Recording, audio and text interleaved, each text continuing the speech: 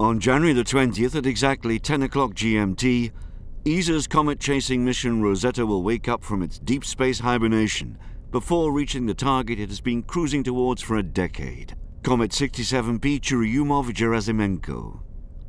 In 2011, the spacecraft was put into deep space hibernation for the coldest, most distant leg of the journey. Once it has warmed up its navigation instruments, it will spin down to point its main antenna at Earth, a proof of life for the ground team.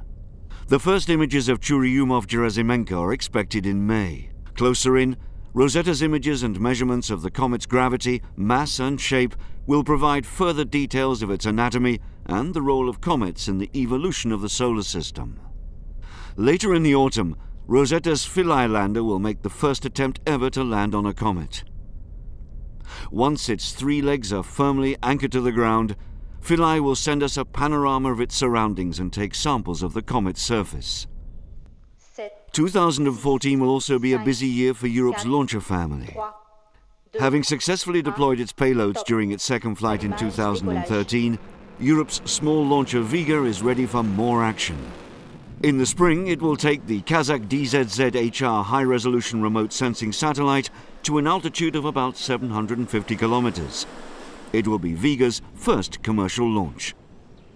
Later in October, Vega will launch ESA's experimental re-entry vehicle IXV into a suborbital path, testing new European re-entry technologies during its hypersonic and supersonic flight phases before it splashes into the Pacific Ocean.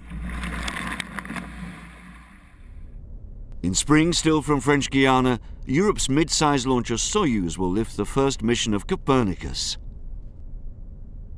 Sentinel-1A will provide all-weather day and night radar images to be used for emergency responses, marine and land monitoring, civil security and climate studies.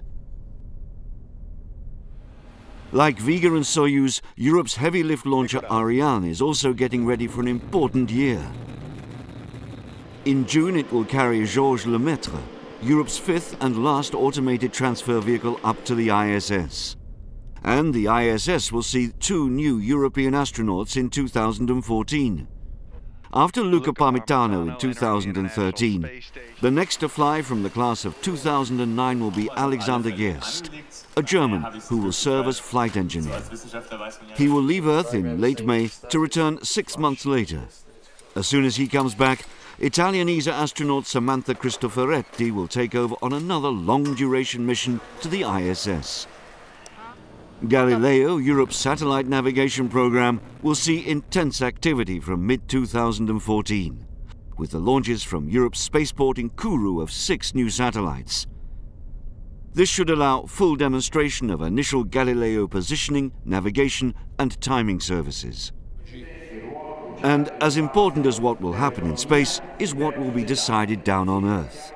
ESA's next ministerial meeting in December in Luxembourg must take decisions on the future of Europe's next generation launcher Ariane 6 and the continued development of Ariane 5 ME, the adapted version of Europe's heavy launcher.